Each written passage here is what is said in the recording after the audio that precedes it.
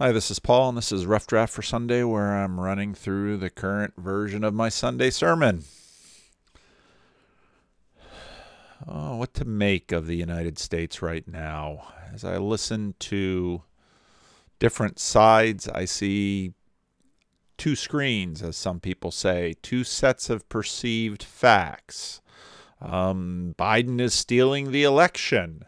Uh, there's no evidence for a stolen election. Back and forth, back and forth, back and forth. A lot of this on on social media, and the problem is how do we have one nation and one conversation when we see the world in radically different ways? And to say, well, I'm right and they're wrong, okay, of course you believe you're right, because if you didn't believe you were right, you'd change your mind. And so then the point is, well, how do we go forward together? Part of why this is happening is that there are too many facts. What do I mean by that? Well, the world is very large and very complex, and we live in a world where now we have this rush of information at us all the time, all over the place. Now, in the midst of a pandemic, and Sacramento just went from red to purple, which means more restrictions on indoor activities, et cetera, et cetera. And, well, how are we to make sense of this? Who are we to believe? Um, we hear these calls about the election. Are we to go to every state and find every ballot and track down every voter? Uh, we, we couldn't even do that in the place that you live, whether it be Sacramento or some other town. Um, and so what happens when we're flooded with these with all of these facts, we need a filter and we need a way to sort of cut through them and decide very quickly because we have to live very quickly. Most of us don't have all day to think about some election. And so then we have these biases and we have people that we trust. And, you know, when I was a boy, Walter Cronkite was someone that a great number of Americans trusted. Of course, not all, but but many across the board. And and so once you trust someone, well, you're more or less liable to believe that what they say is true, and the people that are disagreeing with them, what they say is false. Now, part of the problem of this is that this is also called confirmation bias. We tend to realign the facts as we see them according to what we believe. And often, well, if you believe that what me and my group think is right, well, then we're the good people and the other people are the bad people. And of course, you won't trust them because they're bad people. So now, when it comes to an election, we wonder who should we trust? Who do we trust? Just today, I caught a, a video which was a conversation between David Brooks and Katie Couric. And David Brooks was making a, a bunch of important statements. Um, politics is supposed to be a competition between partial truths. Um, and we're asking politics to do too much, more than politics itself can bear. Uh, when it when it comes to um, when politics becomes your identity, any compromise is not just well we we disagree over how we should have health care or how we should spend the money or or what the t- rate of taxation should be or what public public policy should be. When politics becomes your identity then compromise is dishonoring and it becomes a war of all against all. And community when david brooks basically says you know community is a is mutual love of a thing. Tribalism is mutual hate of another. And unfortunately we've descended into hate more than more than love in many ways but we say, well, we, we must save the world through through changing public opinion. And so we argue and we yell and we and we promote ideas. And we feel the need to represent, to assert, to persuade according to the truth as we see it. But then how do we represent the opposition? Well, they're stupid, they're uninformed, they're they're liars, they're evil, they can't be trusted. What does that mean when it comes to sharing a country with them? Ought one particular party all to be thrown into jail? Ought we to round up everyone who voted for the other candidate this fall? How exactly will you manage this? And this is kind of the pickle we find ourselves in. We've been going through the Ten Commandments, and you know my my you know my hash of the of the commandments sort of goes as follows you shall have no other gods before me the lord says don't create a representation of god from his own creation don't lift up god's name upon a lie keep a weekly witness to the goal of of creation which is sabbath rest prioritize your love of neighbor to um, um, to the most God-like neighbor, which are your parents. Don't commit murder. Don't commit adultery. Don't steal. And now we've got don't bear false witness. And, and this one is, again, one of these commandments that seems quite obvious. And as I said last week, really, these four commandments that are very short things seem to sort of revolve around ideal. Uh, an idea. Don't steal your neighbor's life by murder. Don't steal your neighbor's wife by adultery. Don't steal your neighbor's person or any persons of your neighbor by kidnapping or just or, or taking their life by manipulating the stuff of this world. And don't steal your neighbor's reputation. You ought to honor your neighbor's reputation. Well, it seems like in our country right now, that is not at all what we seem to be doing. Bearing false witness, um, a little little treatment of it. Some have interpreted this to be a prohibition on lying in general, but that's not really the case. The Hebrew terms here used are forensic connotations. That is, they they mean proceedings in court. Furthermore, the language here points to a particular type of false statement, a false accusation. You're a thief. You're a liar. You're trying to destroy our community.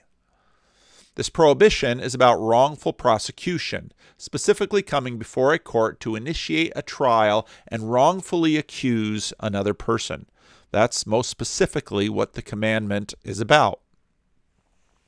Now, actually, you find a number of commandments in the Mosaic Law that pretty much explicate this broader, and you'll find similar commandments in other ancient Near East legal documents as well.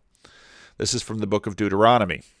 One witness is not, en- is not enough to convict anyone accused of any crime or offense they may have committed. A matter must be established by the testimony of two or three witnesses. If a malicious witness takes the, takes the stand to accuse someone of a crime, the two people involved in the dispute must stand in the presence of the Lord before the priests and the judges who are in office at the time. The judge must make a thorough invest the judges must make a thorough investigation. You're looking at the facts, you're looking for evidence. And if the witness proves to be a liar, giving false te- testimony against a fellow Israelite, then do to the false witness as that witness intended to be done to the other party. This is where you get an eye for an eye from. You must purge the evil from among you. The rest of the people will hear of this and be afraid. But now look, you're not destroying their household, you're not destroying their tribe, you're addressing the individual. The rest of the people will hear this and be afraid, and never again do such an evil thing, um, and never again will such an evil thing be done among you. Show no pity, life for life, eye for eye, tooth for tooth, hand for hand, foot for foot. Pretty brutal. Now, the Heidelberg Catechism, as we've seen throughout this series, and we've been looking at the Heidelberg Catechism's treatment of the Ten Commandments as we've gone through the Ten Commandments, and as we've seen in most all of these commandments, it tends to broaden it. What is the aim of the ninth commandment? That I never give false testimony against anyone, twist no one's words, nor gossip or slander, nor join in condemning anyone rashly or without a hearing Rather, in court and everywhere else, I should avoid lying and deceit of every kind.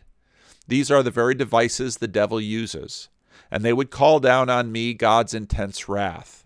I should love the truth, speak it candidly, and openly acknowledge it. And I should do what I can to guard and advance my neighbor's good name. So, right there, you see this balance. I should love the truth, speak it candidly, and openly acknowledge it. It's a good thing to speak the truth as you see it, within the limits of how you know it, but that's a good thing. But at the same time, guard and advance my neighbor's good name. Maybe my neighbor is mistaken about something. Maybe I think they're wrong about a number of things. Okay, it's fine to contest the ideas, but your neighbor's reputation, well, that's important for you to maintain. Now, a number of years ago, I read this very interesting book by Jonathan Haidt, who's an evolutionary psychologist. And this actually was the book that he wrote before he wrote a couple of other books that made him quite a bit more famous.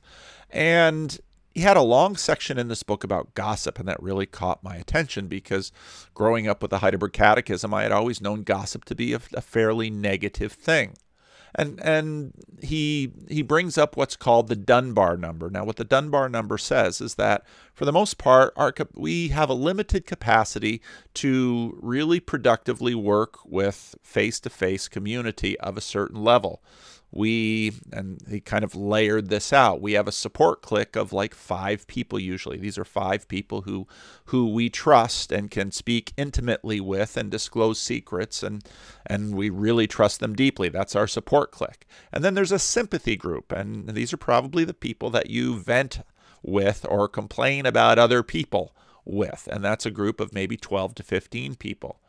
And you can really have meaningful relationships with about 50 people, and that's about the number of people you can manage. And you'll have active friendships with a group of about 150 people. And this was taken from The Invention of Friends, the Dunbar number. And the whole video is really quite interesting because they went through thing after thing after thing, finding that in a lot of cases, numbers tend to coalesce around this 150 in terms of sort of the maximum number of relationships or friendships, active friendships, any human being can, can really sustain at a given time.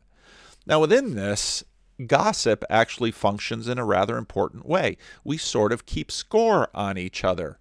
Um, and you know the Chinese have this whole social scorekeeping thing that they're trying to do to control their population. Well, we we sort of do that naturally one to another. Among among many of the findings in the book again, gossip is overwhelmingly critical. We like to tell tales out of school. We like to talk about how such and such has failed. This is what we like to do.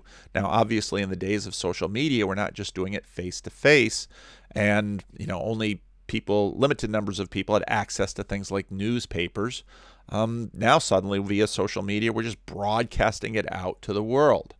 And, and so gossip is overwhelmingly critical, and it's primarily about the moral and social violations of others. And this is basically what we see playing out today.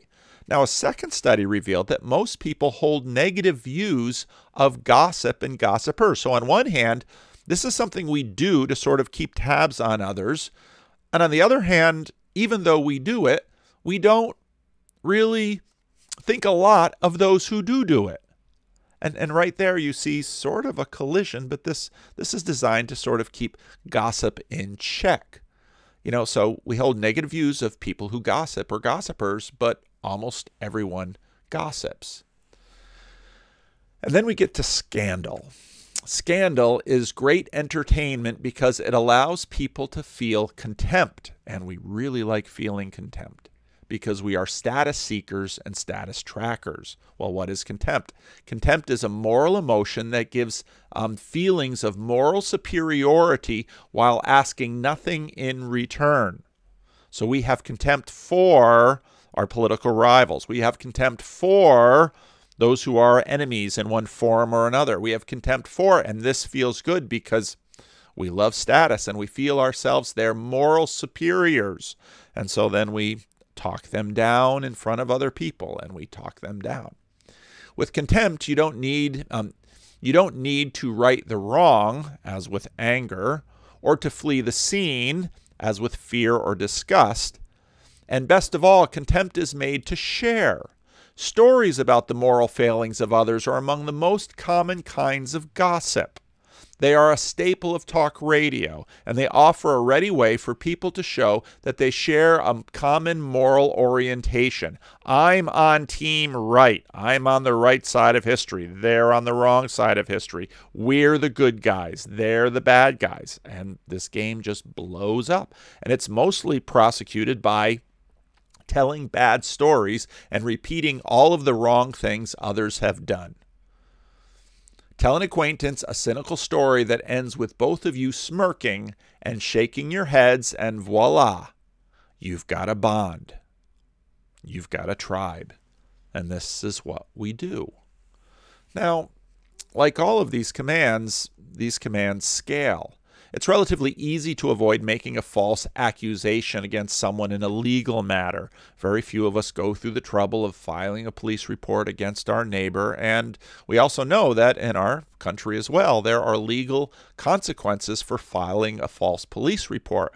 But going and talking amongst your friends or going on social media to talk someone down, it's not against the law. A lot of people won't basically charge you with libel.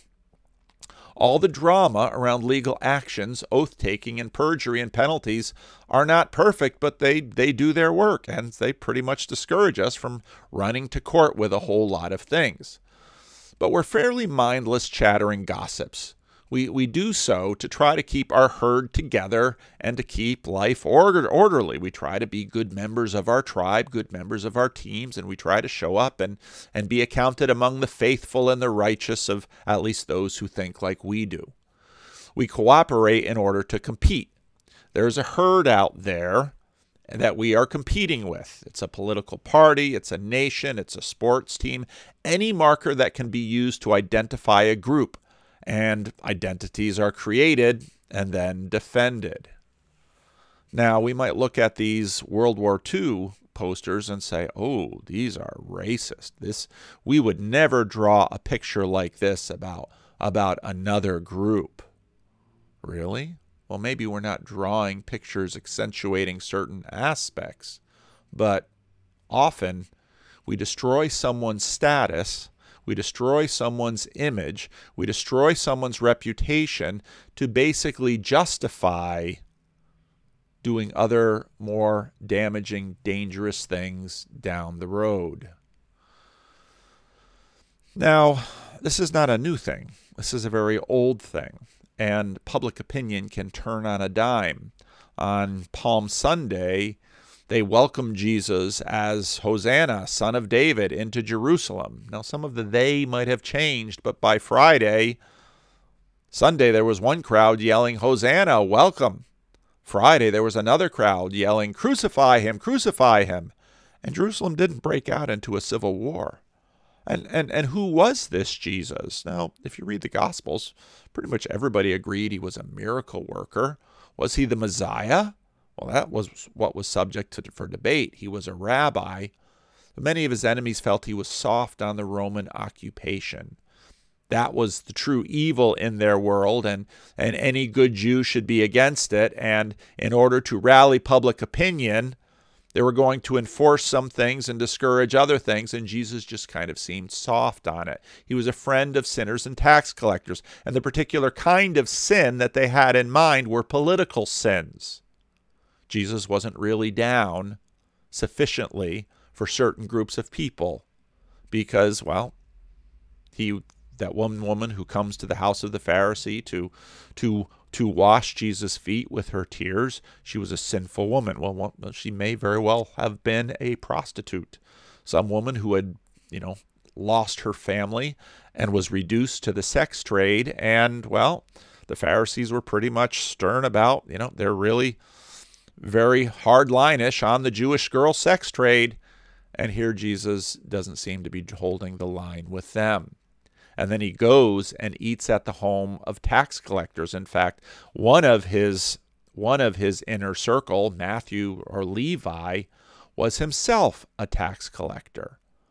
Jesus meets Zacchaeus and says, Zacchaeus, come down from that tree. I'm going to your house. And everybody's, well, Jesus was going to eat and befriend and gain and give somehow moral support to the wrong political party. Now, Jesus was not lined up to end the Roman corruption and purify God's promised land the way they imagined he should have.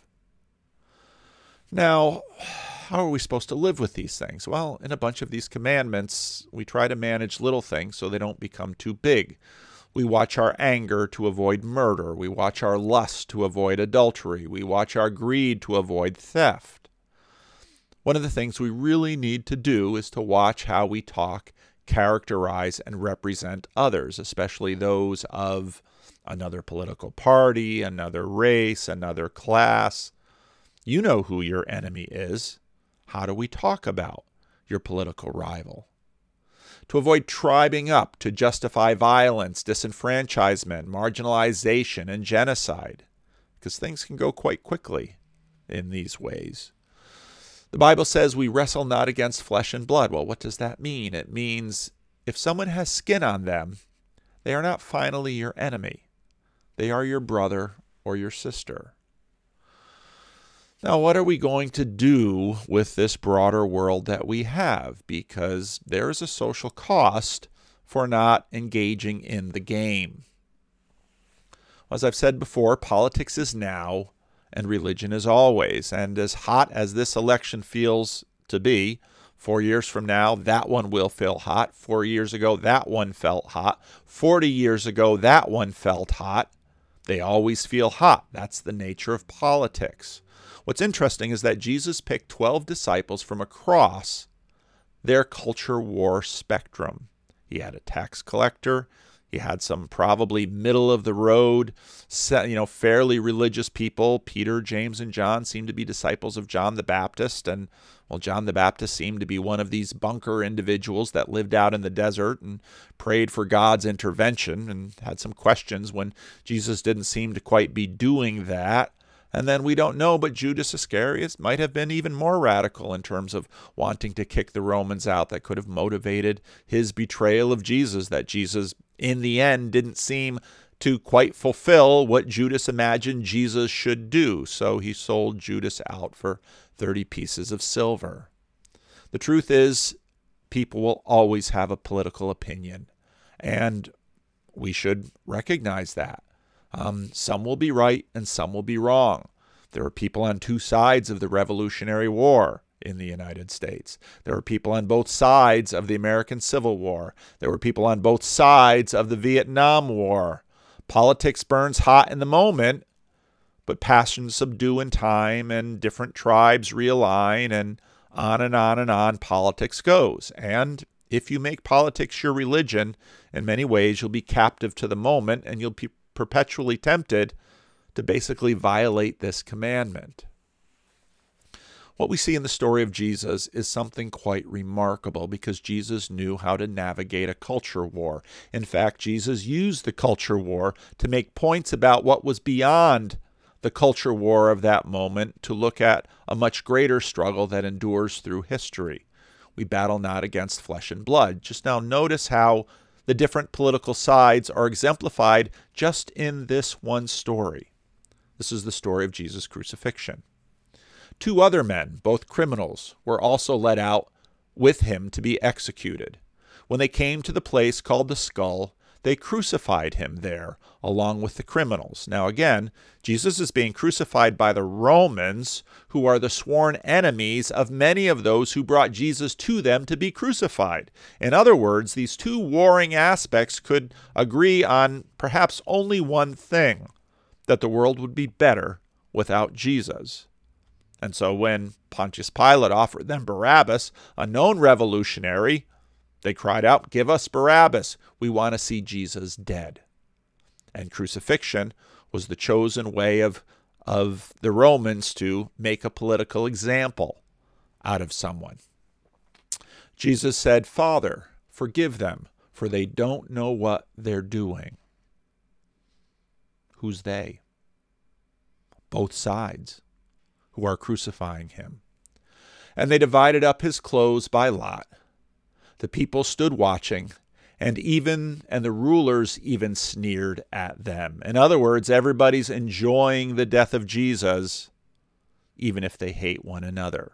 Now suddenly, the scapegoat here makes them one. They said, He saved others. Let him save himself if he's God's Messiah, the chosen one. The soldiers also came up and mocked him. They offered him wine vinegar and said, If you are the king of the Jews, save yourself. There was a written notice above him which read, This is the king of the Jews. One of the criminals who hung there insult, hurled insults at him. Aren't you the Messiah? Save yourself and us. Because, well, what was Messiah supposed to do? Messiah was supposed to kick out the Romans. What better time? And all of our Hollywood movies would have shown something like this. Jesus would, in a flash of light, the nails would dissolve. He would come down from the cross. Laser eyes would go out of his head and kill all the soldiers. And he'd free the others. And they would all rise up and grab the Roman soldiers that were huddled in the Antonia fortress and cleanse Jerusalem. And, and, and one city after another, the Romans and their sympathizers would die and there'd be a glorious revolution and Jesus would be king. But there he is on a cross. And then the other criminal. And see, again, the, the, the, NIV here, criminal, no, the other insurgent, the other revolutionary, the other one trying to unseat Rome, says to the other one, Don't you fear God? Well, they're about to meet God. They're both likely very religious, conservative Jews. And don't you fear God? What do you mean, fear God? He said, Since you are under the same sentence, you too are hanging on a cross. We are being punished justly, for we are getting what our deeds deserve. was probably sedition, probably treason. But this man has done nothing wrong. Then he said, Jesus, remember me when you come into your kingdom. It's a pretty amazing request from one man on a cross to another. What did that revolutionary see in Jesus or even know about him in terms of his reputation? Jesus' answer is even more shocking. Truly, I tell you, today you will be with me in paradise no remorse, no sinner's prayer, just welcome. It was about noon, and darkness came over the whole land until three in the afternoon, for the sun, sun stopped shining, and the curtain of the temple was torn in two. And Jesus called out in a loud voice, Father, into your hands I commit my spirit. When he had said this, he breathed his last. The centurion, so we just saw someone hanging on the cross, probably there for trying to overthrow the Roman government and the Roman occupation of Jerusalem, sees Jesus and asks Jesus to invite him into his kingdom. And here a centurion, a Roman. Not only did Jesus have them in his inner circle, now he has them right there at the cross. Seeing what had happened, praising God and said, Surely this was a righteous man. This is what he sees by the manner in which Jesus endures his torturous execution. When all the people who had gathered to witness this sight saw what took place, wasn't cheers, wasn't yay for our side. They beat their breasts and went away. Who really won? That day. But all those who knew him, including the women who had followed him from Galilee, stood at a distance watching these things. That should include us. We're standing at a distance, we're watching these things. We're in the midst of a divisive moment in this world, and it is so tempting to line up the good guys and the bad guys. And oh, guess what? You and your team are the good guys, and the other team are the bad guys. You might be right. I'm sure you think you are. I think I am. That's what it means to be human. The other team thinks they're right too. So argue the facts, argue the points, have a good conversation, let politics be politics. But do not bear false witness against your neighbor, certainly not in court. Tell the truth as you see it, but try to honor your neighbor's good name and treat them as an image bearer because we finally we don't battle against flesh and blood but against principalities and powers that's what we should do